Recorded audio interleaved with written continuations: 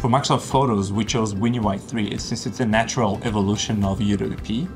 Uh, we can still use the beautiful UI controls from Windows SDK, and at the same time, we will unlock new features and new possibilities, since now Photos is a full desktop application. Having a consistent, robust, tried and true framework is important, and WPF gives us that. We see it as an obvious choice for designing a customizable, native Windows app. Visual Studio makes it easy to dive in and start a WPF project, and Camo and its capabilities are about as demanding as an app can get. WPF brings us a number of specific benefits as we build Camo. It has a rich ecosystem of third-party packages, extensions and code.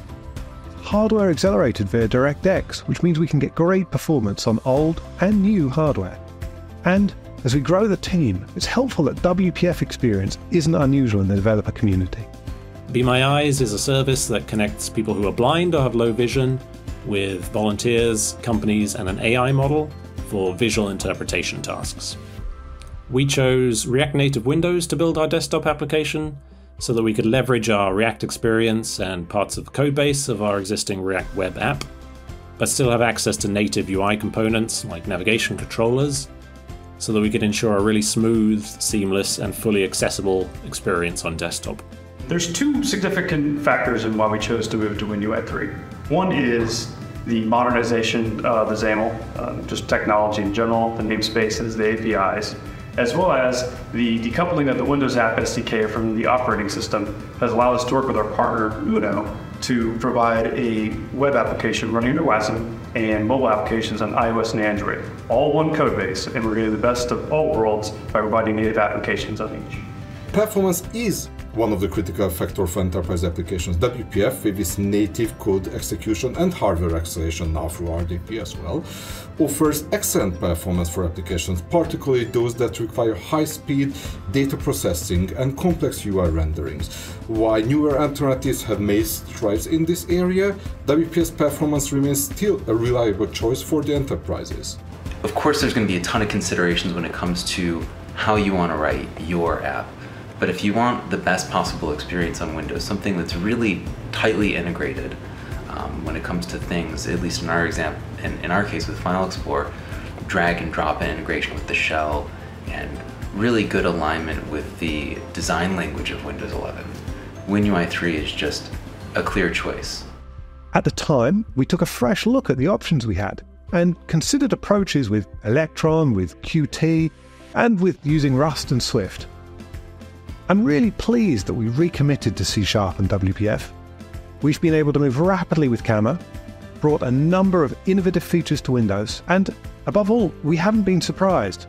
Well, maybe we've had a few surprises. ARM support was so easy that it was nearly free, and our path to supporting NPUs was easier than I anticipated. The surprises have been positive.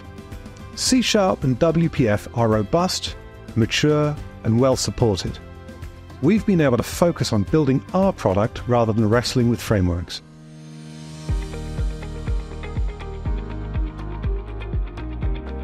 It's hard to hide my enthusiasm for building under WinUI 3. I've always felt that if you can build a native application, you almost certainly should. You're going to get the best performance, you're going to have full APIs available to you, and you can code your way out of any challenge presented. Couple that with the power and elegance of XAML, and literally anything is possible. So am I enthusiastic about WPF? I am. WPF is alive. Just in the .NET 8 timeframe, a very important feature has been added to WPF, which was the folder browser. But in the .NET 9 timeframe, we already seen many, many different achievements. We have seen Hyphen-based ligature support, we have seen the new Windows 11 theming, we have seen hardware acceleration for RDP, we have seen a large number of community contributions, which is big. At the .NET 8 time frame, all the different features to be able to test these contributions, to be able to have the quality of the contributions, the quality gates for that has been added. But now the line of uh, important community contributions are just coming. We have the managed DWrite integration, we have the future trimming support, the guidelines for that, we have the setter content being adopted, and many, many more. And we know about all the plans to make AI integration a first class citizen into WPF applications as well. I love building native apps because not only does it give me great performance and a native look, it also lets me stand out from the competition. It's kind of like instead of building a one size fits all, you're building a custom tailored version of your app for the Windows platform. Me personally, when given the chance, I always prefer native apps over the alternative. Developing native applications for Windows is the best way to bring the ideal user experience and the integration with the OS, and also give us developers direct access to all the Windows APIs available. Building with native technology is the best path for today's features and also for tomorrow's. When new opportunities arrive to integrate, such as with Copilot or NPU acceleration, it's always going to be easier native. The underlying complexity of driving a diverse set of neural processing units is too great to imagine being manageable with a non native solution. Microsoft are investing heavily in the Windows user experience, and we're confident that by riding WPF and C Sharp, our apps will be brought along with that.